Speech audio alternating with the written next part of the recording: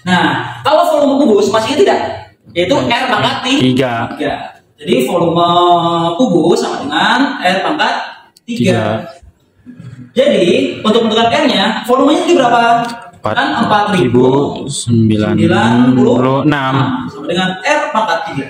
Jadi supaya R saja, makanya di sini dikasih angka pangkat Tiga. 3. Dari 4096 Enam. sama dengan R.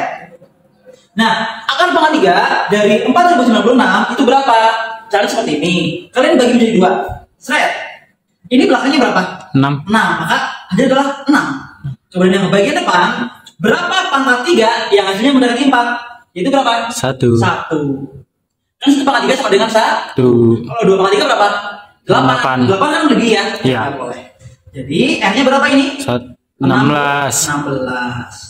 Nah, kalau rusuk itu sebuah kubus rusuknya ada berapa? Dua. Kita bisa hitung ya. Ya, satu, dua, tiga, empat, lima, enam, tujuh, delapan, sembilan, sepuluh, sebelas, dua belas. Jadi kalau dihitungkan R itu 16, berarti 16 kalikan dengan 2 Belas. Dua enam, Ah, dua belas. satu, satu, Dua, satu, tiga, enam, enam, satu satu, satu. dengan dua, kita enam, sembilan sini. Satu.